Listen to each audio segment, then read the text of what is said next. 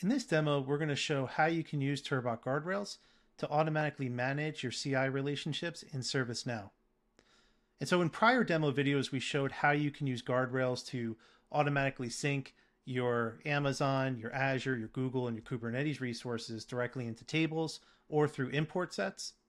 This is now taking that a step further to then manage the relationships between those resources uh, with other cloud services. So for example, we're going to use Amazon S3 and we're going to uh, sync these S3 buckets into ServiceNow and then extend those configuration details to also include what these resources are related to. The policy to enable them is, is really simple. It's just enabling if you want this to be enforced uh, to have guardrails manage your relationships. And so here, if I just enforce enable this particular uh, relationship policy for S3 buckets, I can update that. It will then start enforcing uh, the relationships for buckets. Within ServiceNow, I have these buckets already synced. Now, within the relationship table, Guardrails is now managing those relationships within the CMDB rel CI table. And it's building those relationships. So in this case, you have these four or these five buckets are in the US East 1, and they are contained and contained by that child relationship with the bucket. And so, because we have these relationships built, when you're looking at your CI record within ServiceNow, now you can see the related items within that. And with these related items, you can then also visualize those relationships in the dependency graph. And so here I could see that my Amazon account, this Acme Demo Sandbox in US East 1 region, this particular bucket, Acme Demo Turbot 1, is now visible. You can extend the relationships even further. So using other resource types like VPC flow logs, we can then relate any flow logs that are matching uh, to these particular buckets. As an example, if I had uh, this VPC flow log is enabled within my Amazon account and it's pointing to this Acme Demo 1 bucket.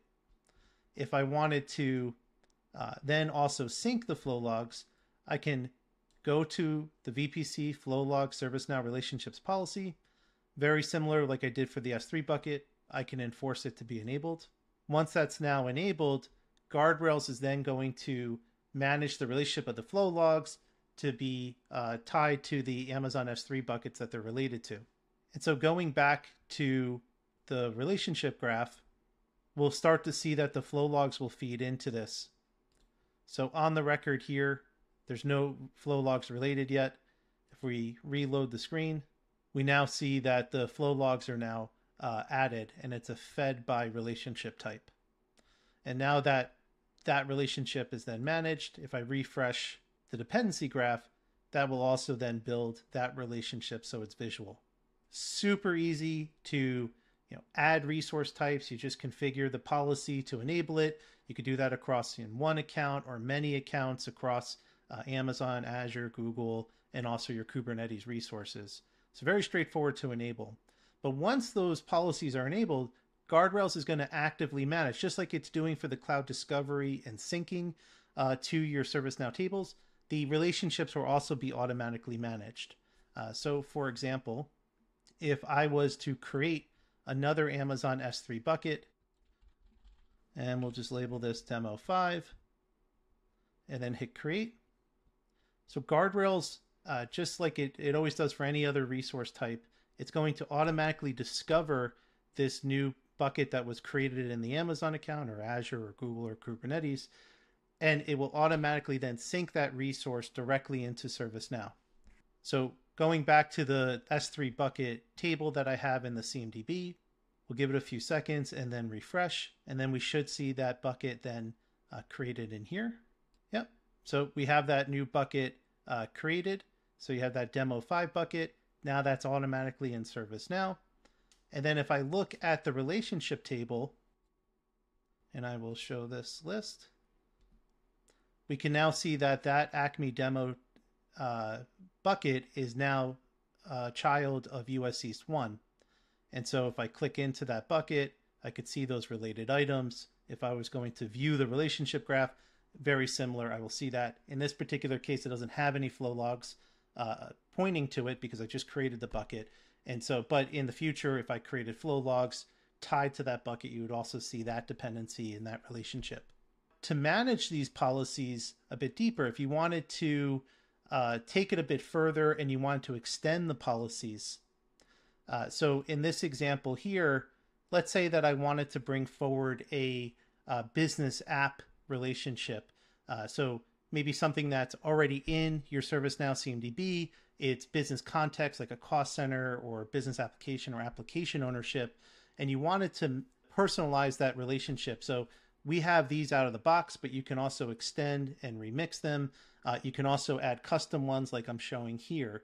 So in this case, I want to add a business uh, service relationship to my Amazon account layer. The policy to do that is that you tell it what the relationship type is. You state that it's either a parent or child.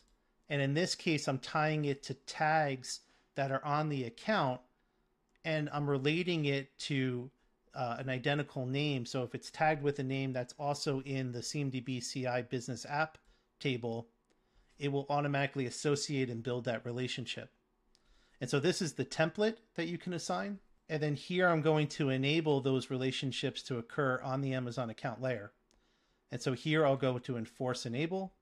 So now I have that relationship being enforced at the account layer. I'm tying it to a business application and it's going to map this Amazon account to that business app that's in ServiceNow.